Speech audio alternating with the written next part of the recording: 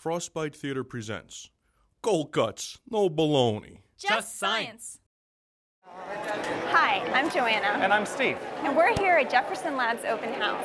If you're interested in science, this is the place to be. Thousands of people have come to Jefferson Lab today to learn more about science, what we do here, and to just have fun. So, what are some of the things that people can do when they're here? Probably the biggest highlight is being able to get into our accelerator and our end stations. Normally, they are not open to the general public, so it's a special treat to get into those areas. Jefferson Labs Accelerator is a machine that accelerates electrons to almost the speed of light in order to study the quarks that make up the protons and neutrons inside the nuclei of atoms. The electron beam is directed into one of three end stations, or experimental halls. Inside the halls, the beam hits a target and the recoiling subatomic particles are measured using huge detectors. This is Hall C. During today's open house, Hall C is being reconfigured for an experiment called Q Weak.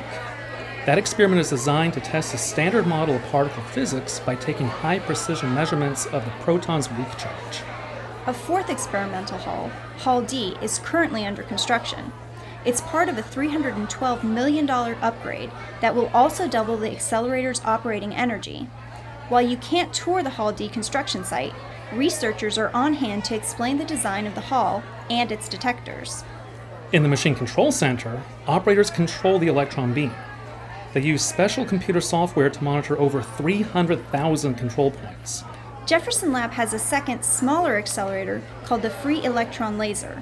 Jefferson Lab's FEL is the world's most powerful, highly tunable free electron laser. The laser light generated by the FEL is directed into labs where a wide range of experiments take place. Examples include a search for dark matter and the micromachining seen here in Lab 4. In the test lab, we process the main accelerating components of Jefferson Lab's accelerators. These niobium cavities become superconductive at temperatures near absolute zero. Jefferson Lab's superconducting radio frequency technology drives our accelerators as well as other accelerators in the US and around the world. During the open house, you can create your own accelerator components.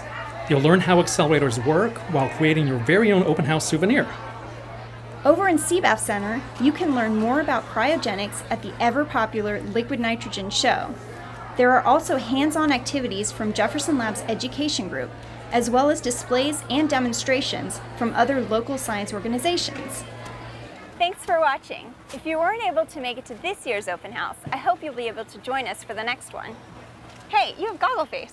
Yeah, didn't you watch the video montage? They let me do cryo shows.